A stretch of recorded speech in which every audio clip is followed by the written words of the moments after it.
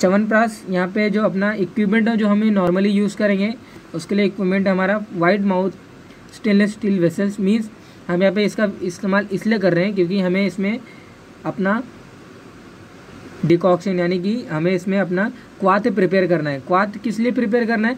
क्वात में ही हम चाशनी बनाते हैं ओके तो इसलिए हम उसके लिए बड़ा वेसल्स की ज़रूरत है। इसलिए इक्विपमेंट में इक्विपमेंट में अपना wide mouth stainless steel vessel requirement है। उसमें हम डिकॉक्शन बनाएँगे और डिकॉक्शन के बाद ही हम चाशनी का निर्माण करते हैं। स्ट्रॉन्ग स्पैचुला होना चाहिए ओके डारवी जिसे हम बोलते हैं। स्ट्रॉन्ग स्पैचुला हम जब डिकॉक्शन जब चाशनी बनाएँगे तो उसको राउंड करने के लिए, उसको घुमाने के लिए तो हम स्पैचुला का यूज़ करते हैं। फाइन शिव और फाइन क्लोथ ये किस लिए इस्तेमाल होता है? इसमें जब हमारा जो आंवला जो रहता है, आंवला से हम पिस्टी बनाते हैं। आंवला से हम आंवला पल्प बनाते हैं। आंवला पल्प सॉरी आंवला से आंवला पल्प बनाने के लिए हमें एक प्रोसीजर से होना जा प्रोसीजर से हम जाते हैं। उसका मैंने शॉर्ट वीडियो नेक्स्ट स्लाइड में मैंने दिखाया है ड्यूरिंग प्रोसीजर एक्सप्लेनेशन वहाँ में मैंने बताया है। तो वहाँ पे सीव का इस्तेमाल करते हैं यानी कि एक फाइन क्लोथ का इस्तेमाल करते हैं, जिसमें बारीक बारीक पाउडर रहते हैं। हम पाउडर मीन्स एक शीव यानी कि जाले टाइप का एक स्ट्रक्चर रहती है, उसमें हम जो हमारा जो आंवला रहता है, उसको हम, उसको रब करते हैं। रब करने से क्या होता है? वो एक साइड्स में अपना आंवला जो पल्प रहता है, उसका पल्प सेपरेट हो जाता है और एक साइड में उसके फाइब्रस स्ट्रक्चर सेपरेट हो जाते हैं। तो इसे ऐसे आंवला पल्प का ऑप्टेन हमें होता है। तो इसलिए फाइन शीव की रिक्वायरमेंट होती है।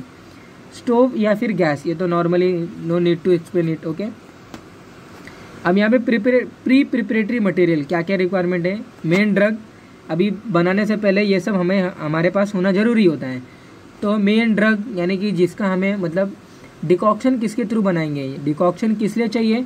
डिकॉक्शन में ही हम चाशनी बनाएँगे। और जो अपना जैसे च्यवनप्राश च्यवनप्राश अवले जो हमें बनाना है तो सिर्फ़ आंवला से तो च्यवनप्राश बनता नहीं, क्योंकि आंवला से च्यवनप्राश नहीं बनता, ओके? क्यों नहीं बनता? क्योंकि उसमें हर्बल ड्रग्स की रिक्वायरमेंट होती है। हर्बल विदाउट हर्बल ड्रग्स के रिक्वायरमेंट विदाउट हर्बल ड्रग्स के एडिंग के एडिंग से हम जो हमारे जो थेरेपेटिक जो गेन होते हैं च्यवनप्राश के वो हम नहीं ले सकते हैं। तो हम मेन ड्रग यानी कि जो हमारे जो आ, कुल total thirty eight forty six total herbal drugs की रिक्वायरमेंट होती है च्यवनप्राश के लिए तो वो यहाँ पे रिक्वायर होता है। उसी डिकॉक्शन में उसी चाशनी में हम अपने पल्प पिस्टी को डालते हैं। ये डिटेल में हम फर्दर स्लाइड में देखेंगे ओके तो मेन ड्रग की रिक्वायरमेंट होती है क्योंकि हम इसे डिकॉक्शन बनाते हैं और डिकॉक्शन से हम चाशनी बनाते हैं, इसलिए मेन ड्रग पहले हमें कलेक्ट करके रखना है। Sweetening agent means sweetening agent चाशनी बनाने के लिए आपको शक्कर की रिक्वायरमेंट होती है तो यानी कि स्वीटिंग एजेंट रिक्वायरमेंट है। शक्कर ले सकते हो आप आप गुड़ ले सकते हो। अगर गुड़ ले रहे हो तो हमें पुराना गुड़ होना चाहिए, नया गुड़ नहीं होना चाहिए। पुराना गुड़ क्यों? पुराना गुड़ क्योंकि ये अनअभिषंदी रहता है और जो नवा गुड़ जो होता है वो अभिषंदी कारक होता है। अभिषंदी क्या होता है? यानी कि जो आपके जो ब्लड वेसल्स रहते हैं, जो कैपिलरी जो ब्लड को फ्लो करती हैं, उनके इंटरनली वो वहाँ पे एक लेपन स्टार्ट होता है। लेपन स्टार्ट होता है मीन्स वहाँ पे इंटरनली जो ल्यूमन रहता है ब्लड फ्लो का, वो कम हो जाता है। वो क्योंकि वहाँ पे जो फैट फैट मटेरियल या फिर समथिंग कुछ स्ट्रक्चर रहते हैं, यानी कि जो नवा गुड़ जो लेते हैं, नया गुड़ जो लेते हैं, वो वहाँ पे जाके स्टिक होने लगता है, यानी कि अभिषंद होने लगता है, यानी चिपकने लगता है। तो उसकी वजह से लूमेन कम हो जाता है, इसलिए हमें नया गुण नहीं लेना है, पुराना गुण ही लेना है। पुराना गुण नहीं है तो हम नॉर्मली शक्कर ले सकते हैं, ओके? थर्ड थिंग रिक्वायरमेंट होती है हमें, जो अपना जो थर्ड रिक्वायरमेंट, जो प्री प्रिपरेटरी मटेरियल में जो आता है, वो स्नेह द्रव्य आता है। स्नेह द्रव्य मीन्स इट में भी गोघृत या फिर इट में भी तिल का तेल, ओके? तो गोघृत मीन्स काउ घी हम नॉर्मली यूज़ करते हैं। ये क्यों यूज़ करते हैं? इसका क्या यूज़ होता है? ये मैं फर्दर बताऊँगा ओके फोर्थ थिंग हमारा जो रिक्वायरमेंट होता है प्रक्षेप द्रव्य बोलते हैं। फ्लेवरिंग एजेंट जिसे हम बोलते हैं। यानी कि जो हम अवले, यानी कि जो हम थिक कंसिस्टेंसी वाला आइटम रेडी कर रहे हैं, उसका कुछ एक स्पेसिफिक स्मेल आना चाहिए। उसमें कुछ थेरेपेटिक जो प्रॉपर्टी है ऐड करने के लिए थेरेपेटिक मीन्स जो फार्माकोलॉजिकल एक्शन यानी कि जो किस व्याधि में इसको ठीक करना है, उसके लिए हमें प्रक्षेप द्रव्य का यूज़ करना ज़रूरी होता है। अभी जैसे कि यहाँ पे प्रक्षेप द्रव्य यूज़ किया गया है, पिपली, वंशलोचन, एला, पत्र नागकेश्वर त्वक। तो ये सब जो प्रक्षेप द्रव्य का जो ऐड किया गया है, इसके अंदर एसेंशियल ऑयल्स रहते हैं। वो एसेंशियल ऑयल्स हमारे बॉडीज़ के अंदर बहुत सारे थेरेपेटिक प्रॉपर्टीज़ को, बहुत सारे थेरेपेटिक प्रॉपर्टीज़ में हेल्प करते हैं ओके तो दैट इज़ मतलब फ्लेवरिंग एजेंट यानी प्रक्षेप द्रव्य का होना ज़रूरी होता है। And fifth is normally liquid media decoction without drug के तो बनता नहीं। ड्रग हमने ले लिया लेकिन अगर हमारे पास जल ही नहीं है लिक्विड मीडिया यूज़ नहीं है तो हम डिकॉक्शन नहीं बना सकते यानी क्वाथ नहीं बना सकते हैं। तो लिक्विड मीडिया भी होना ज़रूरी होता है okay? It is a part of our अवले also अब क्या क्या च्यवनप्राश के अवले के अंदर चाहिए? फ़र्स्ट ऑफ़ ऑल आंवला जो आ, हमने आंवला जितने लेना है शास्त्र उक्त अगर हम बना रहे हैं, यानी शास्त्रोक्त अगर हम बना रहे हैं अपना च्यवनप्राश अवले तो उसमें मेंशन किया गया कि हमें 500 क्वांटिटी यानी कि 500 आमला एटलीस्ट होना चाहिए उसके अंदर ओके और जो वाटर जो हम यूज़ कर रहे हैं डिकॉक्शन बनाने के लिए, वो वो एक द्रोण होना चाहिए। एक द्रोण मतलब ट्वेल्व एंड हाफ़ लीटर यानी साढ़े बारह लीटर नॉर्मली इतना जल होना चाहिए ओके और सीजेमोल, यानी कि तिल का तेल, अगर तिल तेल यूज़ करते हैं, लेकिन चारंगदर ने तिल का तेल नहीं बना, नहीं बताया था ये जो हम चौनप्रास अवले बनाना बता रहे हैं आपको, ये अकॉर्डिंग टू चरक में बता रहा हूँ। चरक ने तिल का तेल यूज़ किया था, लेकिन शारंगदर ने तिल का तेल यूज़ नहीं किया था। वहाँ पे उन्होंने बोला था कि इससे रेंसिडिटी यानी कि एक दुर्गंधता डेवलप हो सकती है उस चौनप्रास में। इसलिए उन्होंने तिल का तेल मना किया था, यानी कि तिल तेल जो होता है, ये सर्वश्रेष्ठ तेलों में आता है। सर्वेशाम तेल जाता नाम तिल तेलम प्रशस्त है तो यहाँ पे तिल का तेल सर्वश्रेष्ठ बताया गया लेकिन तेलों में भी तिल का तेल लिया जाता है, लेकिन च्यवनप्राश बनाते समय तिल का तेल नहीं लेते हैं, क्योंकि इससे बैड ऑर्डर की वहाँ पे एक निर्माण हो सकता है। जब हम इसकी जब ड्यूरेबिलिटी जो रहती है ओले की, वो वन ईयर टू ईयर रहता है ऐसा। लेकिन जब तिल के तेल से जब हम अवलेह बनाते हैं, यानी कि उसकी ड्यूरेबिलिटी यानी कि उसकी जो टाइम स्पैन है, ख़राब होने के जो उसके जो लक्षण जो दिखाई देते हैं, वो जल्दी दिखाई दे देंगे ओके इसलिए तेल का यूज़ नहीं करते हैं। ऐसा शारंगधर बोलते हैं। लेकिन चरक ने तिल का तेल अपने च्यवनप्राश अवलेह बनाते समय यूज़ किया था। तो तिल का तेल लेते हैं, वो मधु लेते सॉरी घी भी लेते दो तो दोनों उन्होंने बताया था कि, दोनों सजेस्ट किया था कि दोनों ले सकते हैं। शुगर हमें टू यानी कि टू के जी फोर हंड्रेड ग्राम यानी कि अप्रॉक्सीमेटली फिफ्टी पल, एक पल फोर्टी एट ग्राम तो you multiply with your own that fifty into forty eight how much is that okay sugar हमने के बाद घी लेना है। तो यहाँ पे स्नेह द्रव्य जो हमने बताया है तिल तेल मैंने बोला उसके बाद घी भी मैं बोल रहा हूँ। तो लेकिन चरक ने बोला है कि हम सीजम ऑयल यानी कि जो हमारा जो तिल तिल का जो तेल होता है या फिर जो हम गोघृत यानी कि काव घी यूज़ कर रहे हैं दोनों में से कोई भी यूज़ कर सकते हैं ऐसा चरक बोलते हैं। लेकिन चालकदर ऐसा नहीं बोलते हैं वो बोलते हैं सिर्फ़ घी लेना है ओके? मधु मधु ये आ, उसके प्रिजर्वेशन बनाने के लिए हम मधु का यहाँ पे ऐड किया गया है ओके? तो यहाँ पे फाइव स्टेप्स रिक्वायरमेंट होती है चौनपास बनाने के लिए।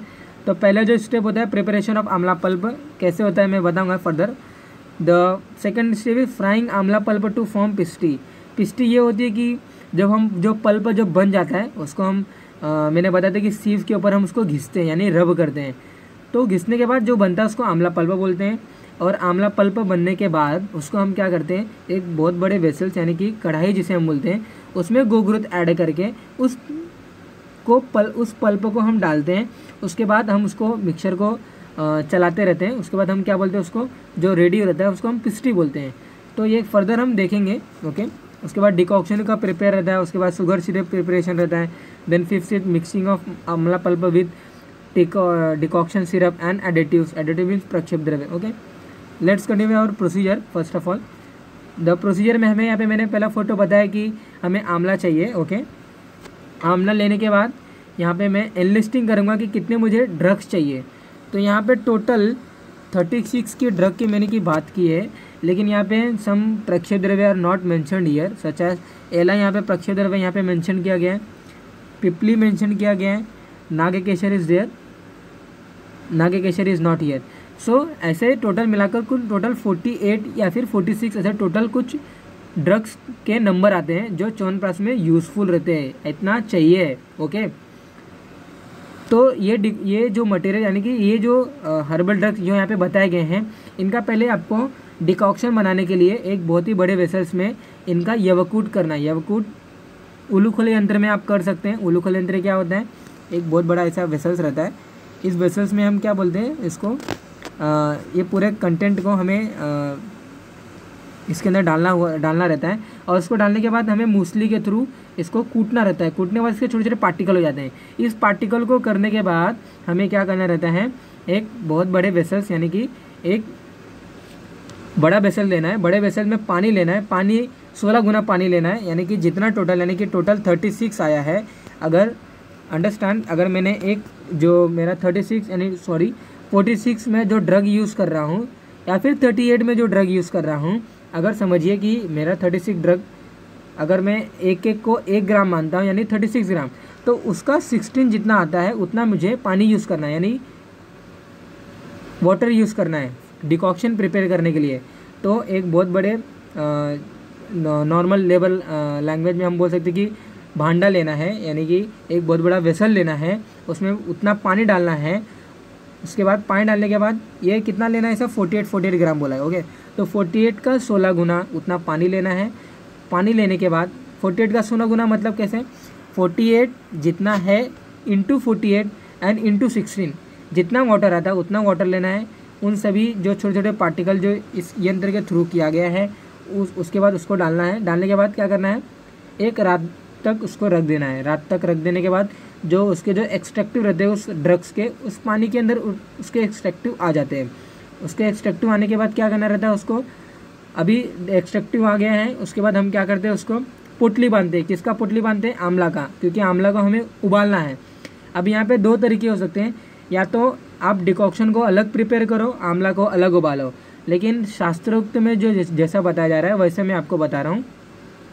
हम यहाँ पे आंवला को डिकॉक्शन बनाने के लिए जो वाटर यूज़ किया गया है डिकॉक्शन बनाने के लिए जो हर्बल ड्रग्स और वाटर का जो सम्मिश्रण करके जो हमने रात भर रखा हुआ है, उसी को अगले सुबह निकालते हैं और उसी में एक पोटली बांधते हैं। पोटली बांधते मीन्स एक छोटे से कपड़े के अंदर एक हल्का सा गोला टाइप का स्ट्रक्चर बना गया। मैंने दिखाया है नेक्स्ट फ़ोटो में ओके पहले देख लेते हैं। ये देखिए, मैंने बताया कि पोटली बांधा हुआ है मैंने। रात भर इस डिकॉक्शन को मैंने रखा था।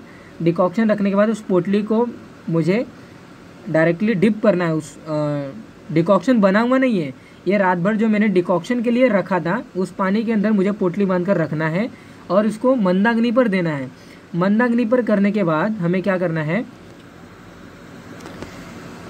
जब तक ये, जब मंदाग्नि करने के बाद ये रहता है कि हमारा जो डिकॉक्शन के लिए जितना पानी यूज़ किया गया, सोलह गुना जो पानी यूज़ किया गया है, उसमें क्या रहता है कि हमारा पानी कुछ रिड्यूस हो जाता है ओके अल्टीमेटली हमें जितना पानी यूज़ किया गया है, उसका वन एट्थ लेना रहता है। तो वन एट्थ लेने के पहले ही हमारा जो आंवला रहता है, ये उबल जाता है।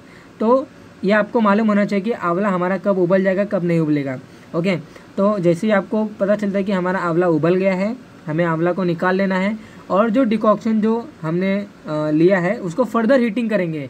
फर्दर हीटिंग कब तक करेंगे? Till it not reaches to one eight okay अगर जब तक वो वन एट रिड्यूस नहीं होता है, तब तक हमें उसको रिड्यूस करना है ओके वही मैंने यहाँ पे बताया है कि फ़र्स्ट जो अपने फ्रेश आंवला जो हमने लिया, उसको पहले धोना है हमें, उसकी पोटली बनाना है and small small pieces of dravya place in a prescribe quantity of water for a day for a night now potli dipped in above mention water पोटली जो हमने लिया है, उसको डिप्ट करना है, जो रात भर जो पानी मैंने रखा था ओके उसके अंदर डिप करना है। अब डिप किए हुए आंवला को और जो पानी है, इन सभी को मेरे को मंदाग्नि यानी कि हीट के ऊपर रखना है, यानी कि उसको फ्लो देना ओके तो पोटली डिप करने के बाद मेंशन वाटर में and then removal of potli as amla fully boiled okay जब तक वो उबलता नहीं है, तब तक हमें उसको गर्मा उसको गर्म करना है, यानी कि उसको हीट देना है okay and make decoction and filter it यही बताया गया ओके यहाँ पे ये देखिए, आंवला हमारा रेडी हो जाता है। आंवला ऐसे उबल जाता है। उबलने के बाद ये इसको थोड़ा सा फूल जाता है और उसके बाद हम इसका निष्कुलीकरण करते हैं। निष्कुलीकरण मीन्स इसके बीजों को अलग करते हैं। इस प्रोसीजर को, जो इसका procedure means the procedure in which the removal of their seeds that is call as the nishkulikaran, उसके सीड्स को हम निकालते हैं। उसके बाद यहाँ पे वीडियो शॉर्ट वीडियो आपको दिखाई देगा कि हम उसका प्रपीड़न कर रहे हैं। यानी कि निष्कुलीकरण करने के बाद आंवला को हम घिसते हैं। ये देखिए, यहाँ पे वीडियो प्ले होगा ये देखिए यहाँ पे घिसने का प्रोसीजर चालू है। इसको हम घिसते हैं। और ये घिसने का प्रोसीजर किसके ऊपर कहते हैं? ये देखिए, ये जो स्ट्रक्चर है, इसको हम सीव बोलते हैं। यानी कि एक मेच लाइक स्ट्रक्चर रहता है, इसके ऊपर हम इसको घिसते हैं। घिसने के बाद अभी वहाँ पर आप वीडियो चले दीजिए। वहाँ पे आपको दिखेगा कि यहाँ पे आमला पल्प रेडी होता है। आमला पल्प क्या रहता है? अभी जो घिस रहे हैं, इसके नीचे एक हल्का सा एक पल्प लाइक स्ट्रक्चर रेडी रहता है। अभी इसके घिसने के बाद क्या रहता है कि इसका जो फाइब्रस स्ट्रक्चर रहता है, ये बाहर आउटसाइड के रिमूव हो जाता है। यानी अल्टीमेटली जो हमारे थ्रोट में जो इरिटेंट कॉज करेगा इरिटेंट इंड्यूस करेगा, वो रिमूव ये देखिए, इसी को मैं इसी की मैं बात कर रहा हूँ। इसी को हम आमला पल्प बोलते हैं ओके इसी को हम आमला पल्प बोलते हैं। ये आमला पल्प हमारा रेडी हो जाता है कि इसमें प्रपीड़न करने के बाद। प्रपीड़न क्या होता है? प्रपीड़न मतलब होता है आमला जो हमारा जो उबला हुआ है, उसको हम घिसते हैं, यानी रब करते हैं।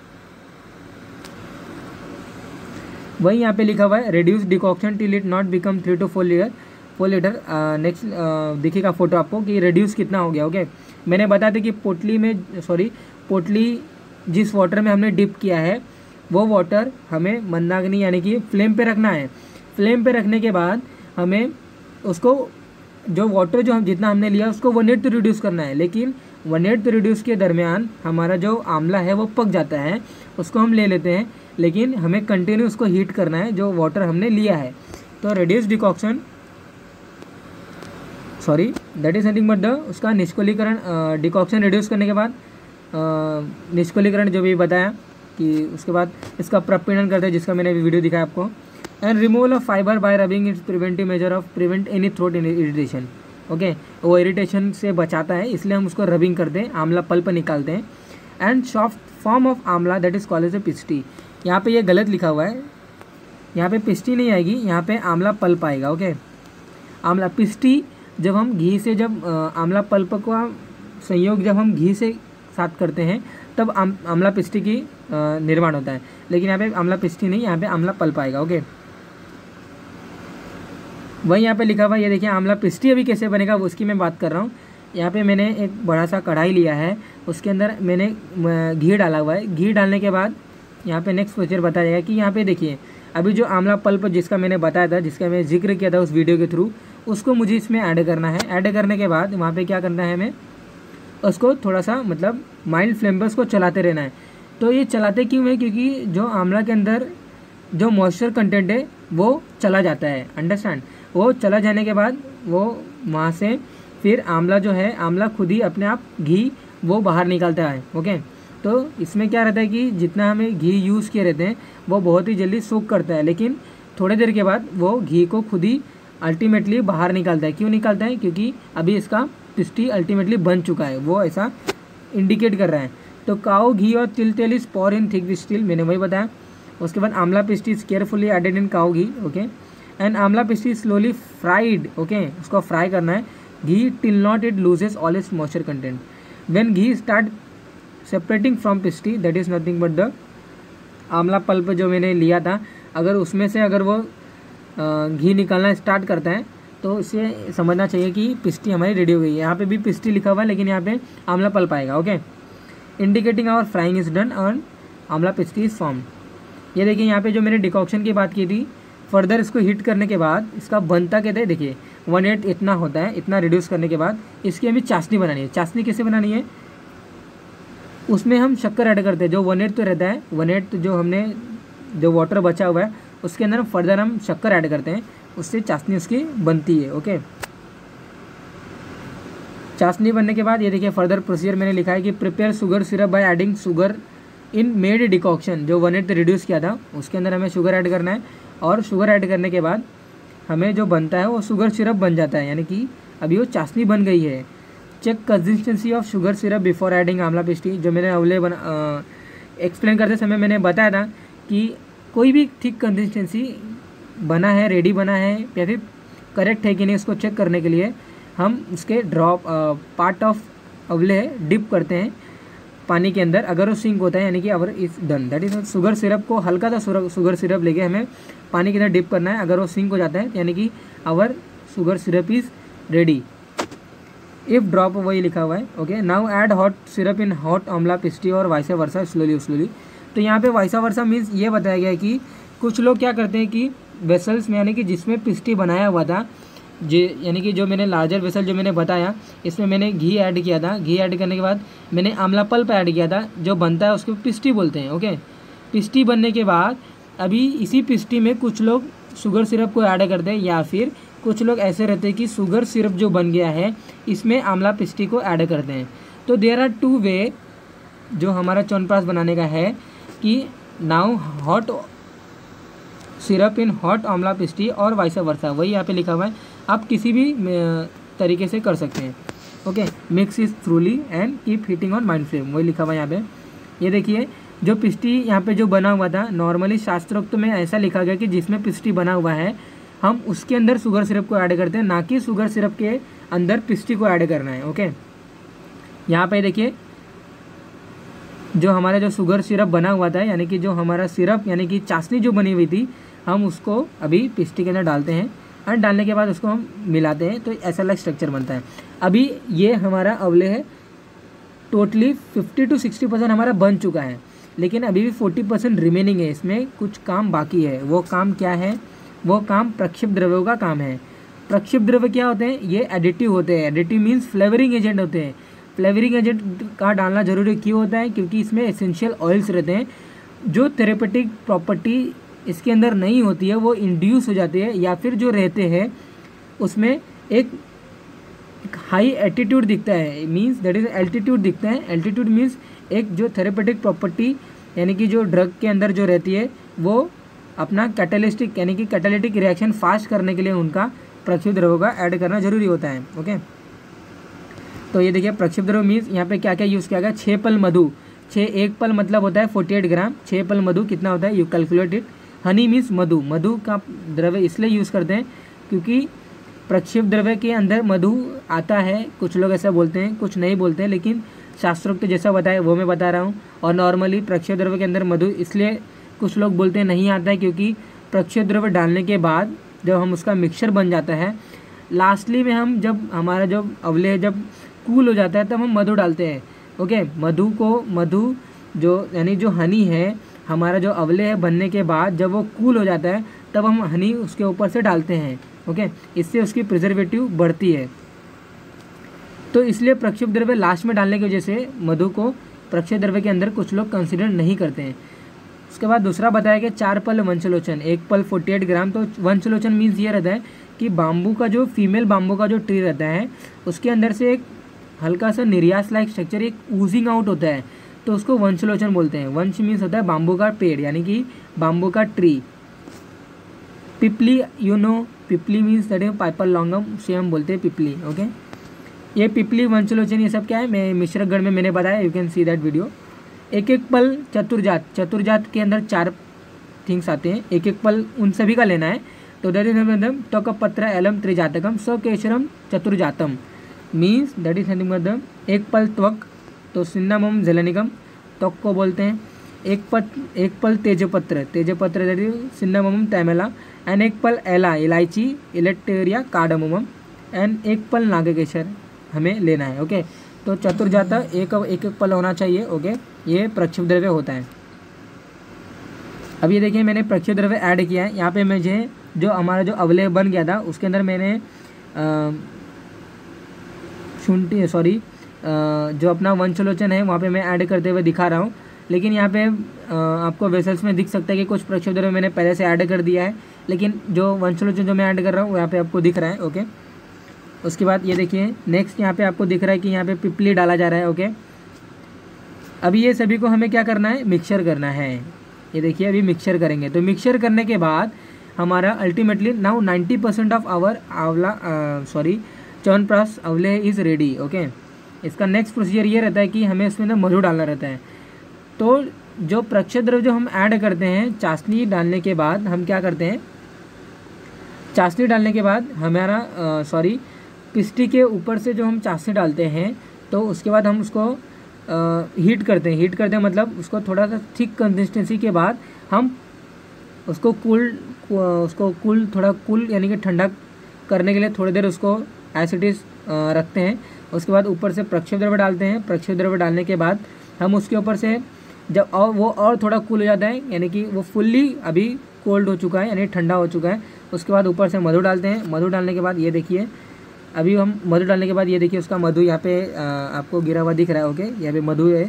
उसके बाद हम क्या करते हैं, उस मधु को मिक्सर करते हैं। ये देखिए, मिक्सर करने के बाद हमारा, ये जो अभी जो बना हुआ है, ये हमको, हम इसको बोलते हैं चवनप्राश अवले है ये हमारा अवले फुल्ली बन चुका है।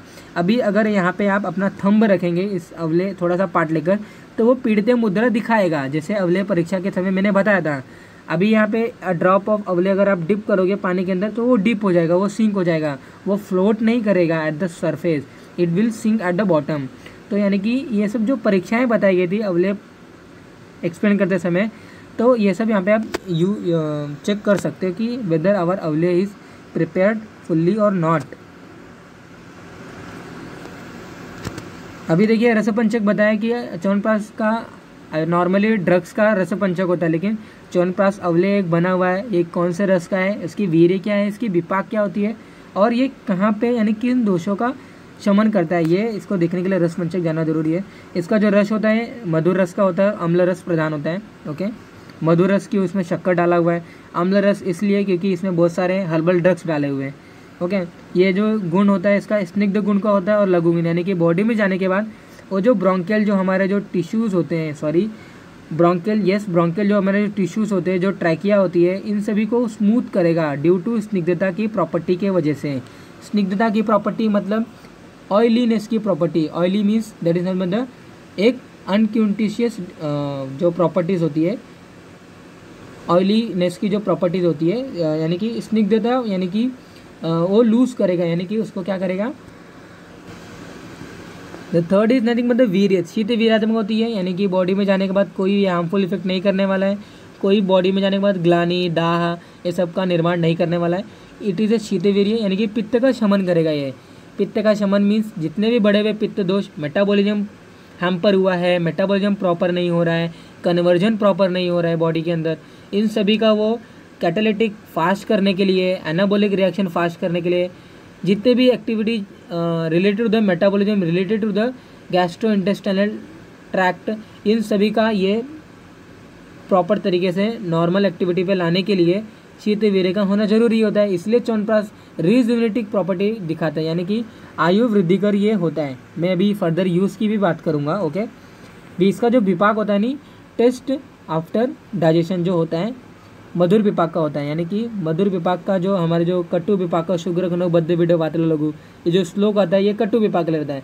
स्वादो गुरु सृष्टमलो यानी कि इसके जो चौनप्रास खान लेने के बाद जो हमारा जो जो फीसिस या फिर जो हमारे जो यूरिन रहते हैं, वो प्रॉपरली एक प्रॉपर वे में एक्सपेल आउट होते हैं बॉडी के थ्रू ओके तो मधुर विपाक का ये रहता है कि स्वादो गुरु सृष्टमलो विपाक कफ शुक्र यानी कि जितने भी इसे लेकिन जो मधुर विपाक रहते हैं थोड़ा सा कफ की वृद्धि होती है, लेकिन यहाँ पे वाते का शमन करता है वो, पित्त का शमन करता है, हल्की सी कफ की वृद्धि होती है मधुर रस और मधुर विपाक की वजह से। लेकिन जो हमारा जो मल होता है, वो मल बांधित नहीं रहता है, हमारा मल अच्छी तरीके से लूज होता है और एक्सपेल होता है बॉडी के थ्रू जैसे बहुत लोगों को समस्या रहती है, बहुत लोगों को प्रॉब्लम रहती है कि हमारा मल अच्छे तरीके से नहीं निकल रहा है बाहर। तो च्यवनप्राश डॉक्टर सजेस्ट यानी कि एक आयुर्वेदिक प्रैक्टिशनर सजेस्ट इसलिए करता है क्योंकि उसमें मधुर विपाक होती है। मधुर विपाक की वजह से वो बॉडी में सिस्ट मलो, यानी कि एक अच्छे तरीके से उसका फ्लो करवाता है वो। इसका जो कर्म होता है, मैंने बताया कि वात पित्त नाशक होता है, कफ की हल्की सी वृद्धि करता है, क्योंकि इसके अंदर मधुर विपाक और मधुर रस रहती है। जो नॉर्मली मधुर रस और मधुर विपाक जो रहते हैं, वो नॉर्मली कफ की वृद्धि करते हैं। क्यों करते हैं? क्योंकि मधुर और मधुर विपाक सॉरी मधुर रस और मधुर विपाक के अंदर स्निग्धता की प्रॉपर्टी रहती है, जो कि कफ के दोष के अंदर वो स्निग्धता की प्रॉपर्टी रहती है। ड्यू टू दोनों गुड़ के समान के होने की वजह से एक वहाँ पे वृद्धि हो जाती है एक गुड़ की तो इसलिए वहाँ पे एक दोष की वृद्धि होना ज़रूरी रहता है। अभी यहाँ पे नोट दिया हुआ है, यानी कि एक इंपॉर्टेंट आपको क्या क्या वहाँ पे प्रिकॉशन ले सकते हैं, यानी कि आफ्टर कंप्लीशन ऑफ़ अवले आपको हनी ऐड करना है। अगर आप यानी कि अगर आपका जो अवले यानी कि जो थिक कंसिस्टेंसी जो पार्ट वाला जो मटेरियल यानी कि आइटम जो बना हुआ है अगर आप हनी उसके अंदर जब आपका अवले अगर गर्म रहेगा आप तभी अगर डाल दिए रहेंगे तो आपका अवले वो इतना प्रिजर्वेट नहीं हो पाएगा जितना ठंडे में अगर आप, आप हनी को डालोगे okay to enhance the durability of prepare avaleh मैं उसमें ऐड किया था मैंने हनी को।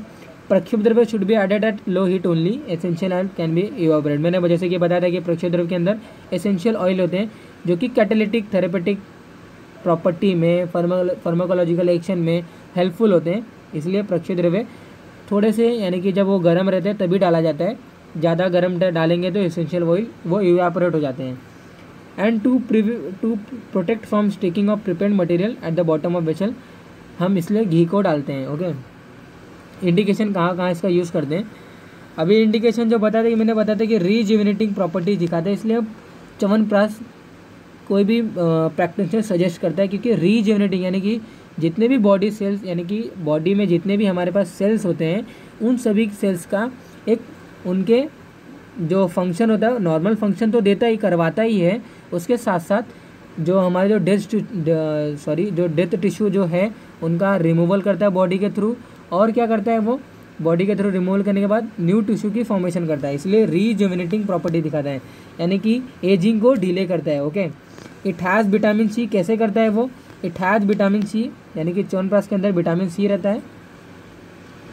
And vitamin C responsible for the formation of collagen fibre जो हमारा जो स्किन रहता है स्किन के नीचे एक लेयर होता है, उसके अंदर कोलेजन फाइबर रहता है। वो कोलेजन फाइबर जो रहता है, वो इलास्टिसिटी यानी कि इलास्टिक नेचर ऑफ़ स्किन के लिए रिस्पॉन्सिबल रहता है। वो कोलेजन फाइबर वो कोलेजन फाइबर विटामिन सी की वजह से उसके निर्माण होती है।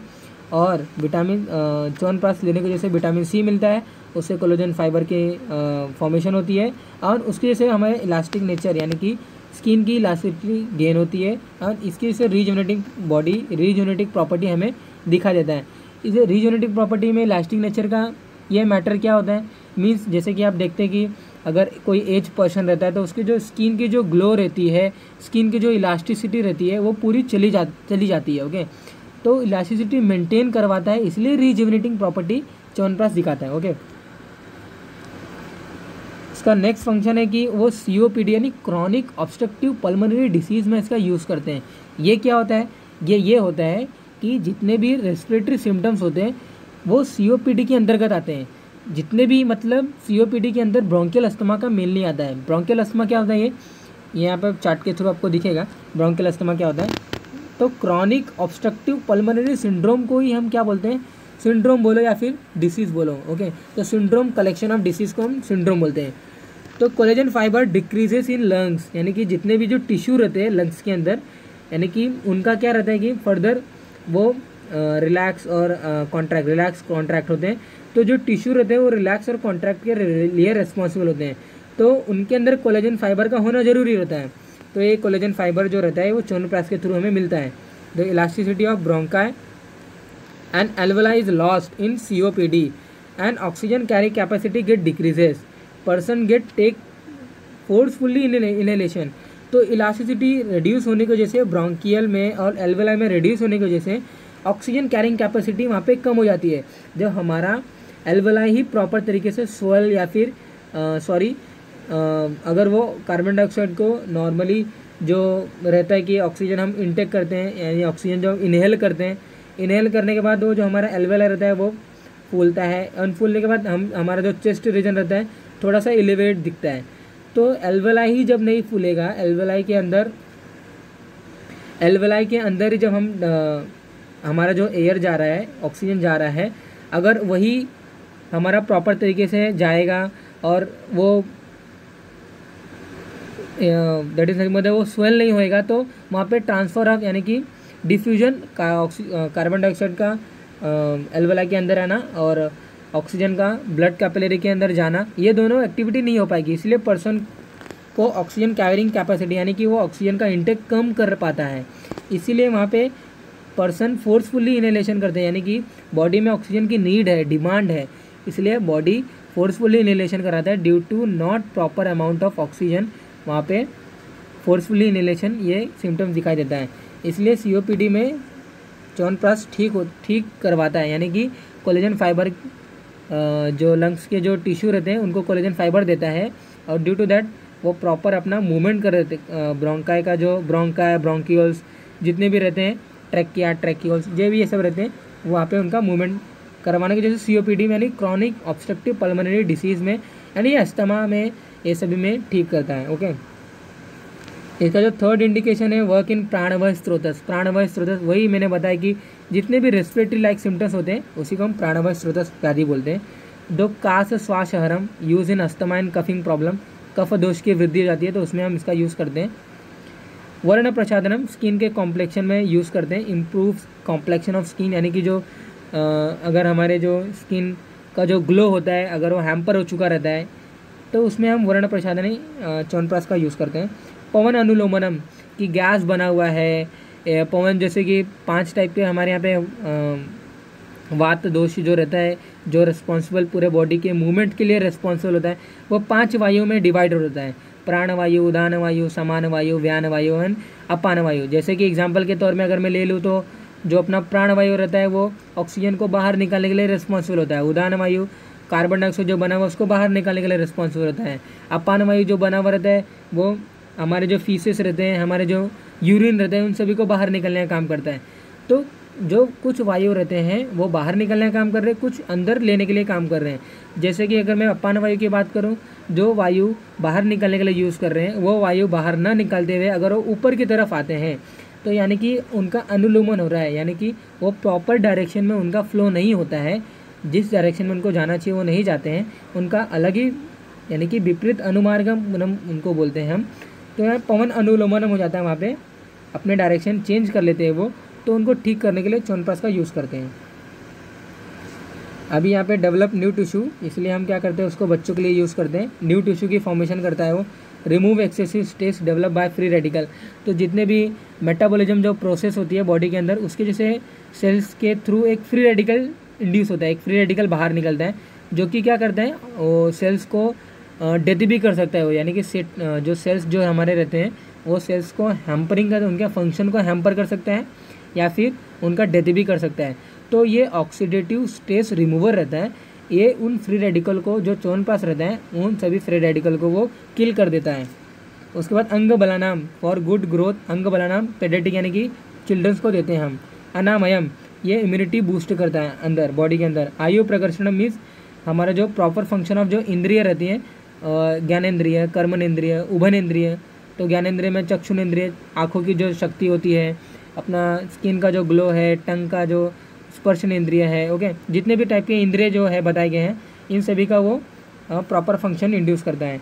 मैथुन शक्ति इंड्यूस करता है अट्रैक्शन टुवर्ड्स योर पार्टनर वो इंड्यूस करता है ओके तो वे ऑफ़ वर्किंग अल्टीमेटली इसके तरीके कैसे किया इसने काम अपना? कोलेजन फाइबर इसने इंड्यूस किया, तभी जाके COPD में इसका हेल्पफुल इफ़ेक्ट दिखा। या फिर इसने इसका हेल्पफुल इफ़ेक्ट नॉर्मली जो दिखा था कि कॉलेजन फाइबर रिड्यूस फाइबर नहीं बन रहा था, तभी वहाँ पे स्किन के जो इलास्टिसिटी कमज़ोर हो जाती है, यानी कम हो जाती है, तभी रिजुनेटिंग प्रॉपर्टी इंड्यूस करता है by formation by formatting collagen fibre inside the skin layer उसके बाद एंटी ऑक्सीडेंट होता है, यानी कि ऑक्सीडेटिव स्ट्रेस रिमूवर होता है। जो कि फ्री रेडिकल जो डेवलप होते हैं ऑक्सीजन वो सेल्स को डेथ कर सकते हैं या फिर सेल्स के फ़ंक्शन को हैम्परिंग करते हैं।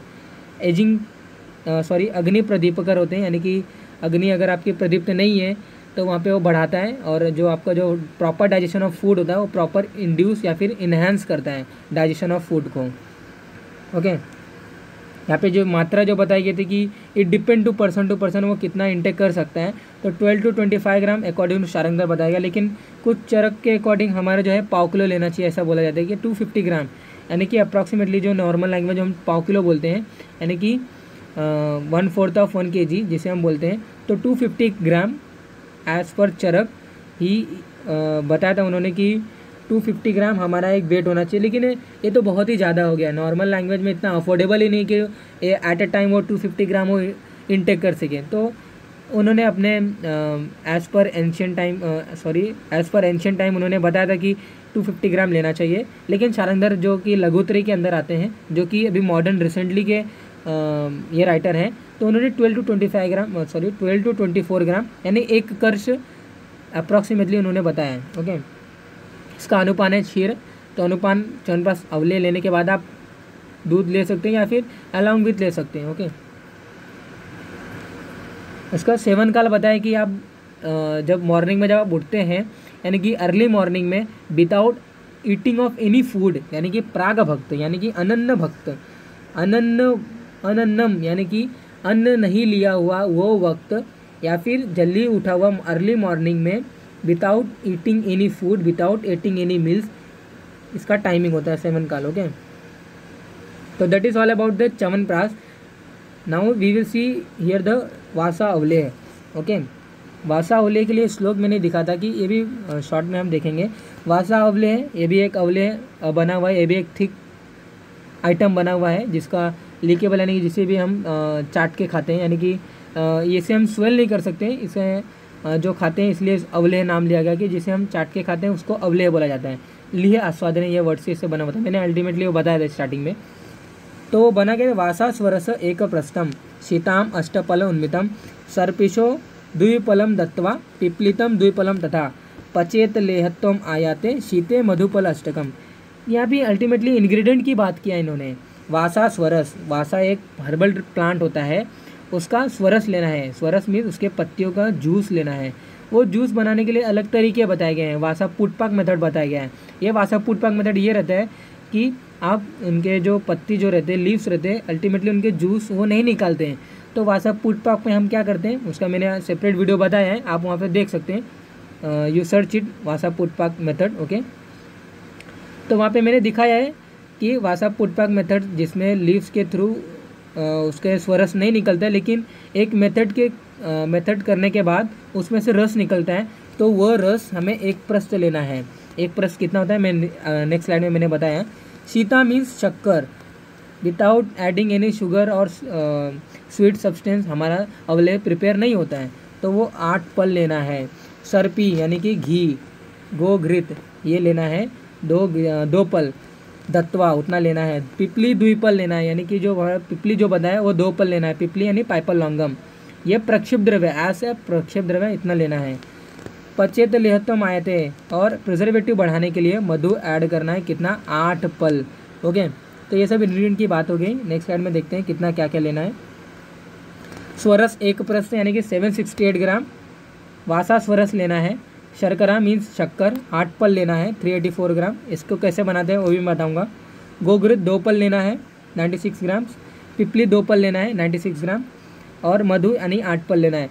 तो इसका जो बनाने का जो वे रहता है वासा स्वरस आपको एक बड़े वेसल्स में लेना है। वासा वासा स्वरस आपको वासा स्वरस अगर आप बना लिए हैं तो वासा स्वरस एक वेसल्स में कलेक्ट कर लीजिए।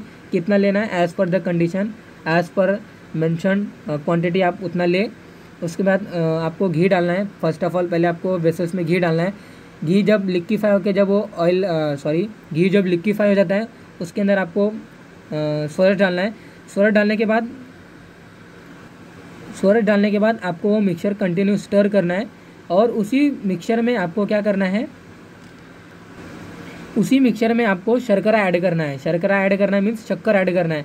तो अल्टीमेटली यहाँ पे चाशनी बनाने की ज़रूरत तो नहीं है, ये चाशनी उसी अल्टीमेटली ड्रग्स में बन जा रही है। तो चाशनी no need to made separate chashni okay तो वहाँ पे चाशनी बनाने की ज़रूरत नहीं है। अल्टीमेटली जो ड्रग हम यूज़ कर रहे हैं, वासा स्वरस, उसी में हमने घी डाला साथ में, उसी में हमें शर्करा भी ऐड कर देना है। और इन सभी डालने के बाद हमें जब तक वो थिक नहीं बनता, तब तक उसे हमें कंटिन्यू माइल्ड फ्लेम पर रख देना है। रखने के बाद हमें क्या करना है? पिपली ऐड करना है। पिपली जब तक वो थिक नहीं बनता, तब तक वो एक पूरा जितना हमने स्वरस जितना लिया है वो स्वरस अगर नहीं बन जाता, यानी कि स्वरस पूरा जब तक वो थिक नहीं बन जाता, तब तक हमें क्या करना है, उसको कंटिन्यू स्टर करना है कंटिन्यू माइल्ड फ्लेम पर रखना है कंटिन्यू उसको फ्लेम पे रखना है। उसके बाद हमें जैसी थिक यानी कि जैसे जैसे ही वो एक थोड़ा सा थिक कंसिस्टेंसी गेन करता है, उसके हम पिपली ऐसा प्रक्षिप्त द्रव्य ऐड कर देंगे, थोड़ा सा कूल होने के बाद पिपली ऐड कर देंगे एंड जब वो फुल्ली कूल हो जाता है तो हम उसमें मधु ऐड कर देंगे। तो मैंने चवन प्रास अवले में फुल्ली डिटेल तरीके से मैंने बताया वासा अवले में फटाफट वासा अवले में एक गो थ्रू फास्ट फास्ट में गो थ्रू कर रहा हूँ ओके मात्रा मैंने बताया सिक्स टू ट्वेल्व ग्राम मात्रा उसकी होती है। अनुपान छीर या फिर जल ले सकते हैं, यानी कि छीर मतलब ददू सॉरी छीर मतलब आप दही सॉरी छीर मतलब दही नहीं छीर मतलब जो दूध हो, यानी कि जो हमारा जो नॉर्मली मैंने बताया था कि गोदुग्ध जो रहता है, गोदुग्ध मैंने चौनपास अवले के लिए बताया था कि वासा अवले के लिए भी मैं बता रहा हूँ। तो अनुपान ये रहता है कि अनुपान आप अवले लेने के बाद लें या फिर अनुपान अवले लेते समय लें या फिर लेने के बाद लें ओके तो दो इसके वे रहते हैं, आप कभी भी ले सकते हैं एज़ पर ये रिक्वायरमेंट तो इसका जो यूज़ करते हैं कि ये भी नॉर्मली रेस्पिरेटरी प्रॉब्लम जितने रहते हैं, उनमें इसका यूज़ करते हैं। और वासा अवले, एक और इसका यूज़ करते हैं कि इसका रक्त पित्त में यूज़ करते हैं, यानी कि ब्लीडिंग डिसऑर्डर में यूज़ करते हैं, यानी कि एक हल्का सा कहीं तो टोमेटिक में लग तो जाता है, लेकिन वो कोगुलेट यानी कि कोगुलेशन ऑफ़ ब्लड ही नहीं हो रहा है, यानी कि हमारा जो कोगुलेशन जो फैक्टर होता है कोगुलेशन ब्लड का जो सिस्टम का जो पार्ट होता है, वो हैम्पर हो चुका रहता है। तो वो हैम्पर उसको ठीक करने के लिए, उसको नॉर्मल ट्रैक पर लाने के लिए वासा, अवले का यूज़ करते हैं। यानी ब्लीडिंग डिसऑर्डर में हम इसका वासा, अवले का यूज़ करते हैं। तो का श्वास एंड रक्त पित्त, उसका ब्लीडिंग डिसऑर्डर है okay that is all about that